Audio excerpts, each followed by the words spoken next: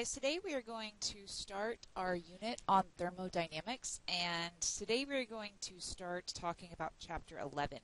So this is going to be an introduction to the idea of temperature and kinetic theory and heat. Uh, some of you guys, this might be a review from what you learned in chemistry. Um, so depending, you, you may uh, remember a lot of what I'm about to uh, talk to you about, but if you don't, then this will serve as kind of a good uh, introduction conceptual review. So uh, the first thing we need to discuss is this idea of energy transformations because this is going to um, be essentially what we will be doing for the rest of the unit. So if you remember from AP1, energy is conserved. That means it can't be created or destroyed. It can only change from one form to another. So when we say that we're going to use energy, what we're saying is that we are actually going to transform it from its current state into another state. So some examples of energy transformation could be using the energy that's in food to power your body, um, to give you energy to go up the stairs, or a wind turbine that uses the kinetic energy of moving air um, to convert that into electrical energy, or even a battery. A battery has chemical energy inside of it, and that chemical energy gets transferred into electrical energy. So all of those are examples. Um, an important thing to consider whenever we talk about energy is how efficient that energy transfer or how efficient that energy process is. Um, it's kind of a, well, it's a law in nature that nothing is 100% efficient. Uh, you're always going to lose some amount of energy in the process. And I know you guys uh, were I just told you that energy is not created or destroyed. So saying that the energy is lost might be a little bit confusing, but it's not that it's lost as in we don't know where it went. It's lost in that we cannot use it again. So a good example of this is kind of the process behind what makes a coal power plant work. So here's just a little graphic that helps describe it. So when you burn coal, in a power plant, you produce a certain amount of thermal energy, and that thermal energy is what is powering this turbine to turn. This turbine, and consequently, uh, turns a generator, and we talked about how generators work before, right? It's a wire that's turning within a magnetic field that will create electrical current. And so this turning turbine will turn the generator, which in turn uh, generates electrical energy, and that electrical energy goes out into the power lines and into your house. But through this process, um, there is a lot of thermal energy that is lost to the environment. And we typically say that as being heat. Uh, we'll talk about heat a little in a few more slides. But this loss of thermal energy becomes really important because this is going to help us define how efficient this process is. So let's take a look um, mathematically at efficiency. So efficiency is just a ratio between what you get out of the system um, divided by what you had to pay or what you had to put into the system. So uh, this is typically denoted as a percentage, so you would take this fraction and then multiply it by 100. So the larger the energy loss that you have in a system, the lower its efficiency. Um, let me go back so we can do this example together. Um, so here we have two different light bulbs, just to show you guys. One is 15 watts and one is 75, eh, but they each produce about 3 watts of visible light energy. So what is the efficiency of these light bulbs? So the first one, um, the fluorescent light bulb, what you are getting out of it is 3 watts. What you had to put into it, or what it is rated as, is 15. So that's an efficiency of about 0.2 or 20%. The other one is 3 watts over 75, and that's a much lower efficiency. That equates to about 4% of efficiency. So both bulbs produce the same visible light output, but the fluorescent bulb does so with a lower energy input, so it's more efficient.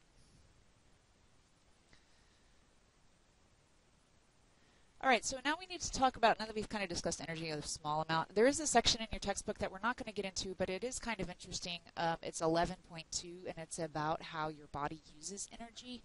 Uh, it's about how it converts calories into joules and how we use that to power what we do um, and how efficient our body is at different activities. So it's kind of an interesting chapter if that's like your shtick, if you think that kind of stuff is cool. But um, it's not really on the AP exam, so we're not going to get too much into it. Um, the next thing we need to talk about is the idea between temperature, thermal energy, and heat. So I think sometimes we use some of these words interchangeably, like temperature and heat. Uh, we might say might mean the same thing, but they're all really different and uh, we need to make sure that we can use these words appropriately whenever we talk about them in a physics context. So let's look at the idea of thermal energy first. And you probably talked about this in chemistry, but this idea that um, gases are constantly moving, right? They're made up of little tiny atoms that are always in motion. And whenever we talk about thermal energy, what we're talking about is the total kinetic energy of those moving atoms. So here's a little graphic to show you. Don't pay attention to the fire down here just yet. But um, these molecules that are in the gas are moving, hence the little gray movement symbol there. Um, and if you take this gas and you place it over this flame, then the atoms in the gas will move faster uh, because they will have more kinetic energy. So that equates to an increase in thermal energy. Now, a second byproduct of adding this flameage here is that the temperature will also increase. So the kinetic energy will get higher, which means the thermal energy will get higher, and then the temperature will also get higher. So let's talk about temperature real quick. What is temperature? Temperature is the measure of the average kinetic energy of the atoms that make up the gas. So this is where everyone says, well, wait, doesn't that kind of sound like the same thing as thermal energy? And it kind of does, but it is not the same. So let's take a look at a at an example to kind of illustrate the difference between um, thermal energy and temperature. So let's say you have um, two samples of liquid. Let's say you have a cup, and this cup has some nice steaming hot coffee in it. And then, um, this is kind of, you know, a typical coffee cup. Let's say it's an 8 ounce coffee cup. And then you have a swimming pool. And this swimming pool is full of nice, relaxing water. That's my water graphic, by the way. It's also kind of tilted, unfortunately. All right, so um, let's say that this uh, nice, warm, hot cup of coffee is um, 100 degrees Celsius is boiling. So let's say it's like 70 degrees Celsius. And let's say that this swimming pool is warm-ish. Ish. Um, let's say it's 30 degrees Celsius. All right, so that's actually pretty warm, but that's okay. So let's look at the difference between the temperature in these things and the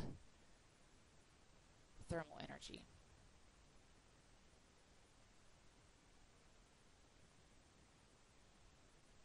Okay, so my question to you is which one of these objects, which one of these liquids has the higher temperature, and which one of them has the higher thermal energy? In this case, the cup of coffee has the higher temperature, right? The temperature is 70 degrees Celsius. That means that on average, the molecules that are in this cup of coffee are moving much faster than the molecules that are in the swimming pool. But if we talk about thermal energy, the swimming pool has more thermal energy. Why? because the swimming pool has more water molecules. So remember that temperature is the average, thermal energy is the total.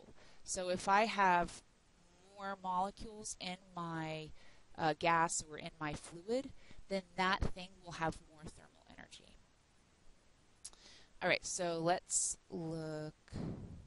Let's keep going.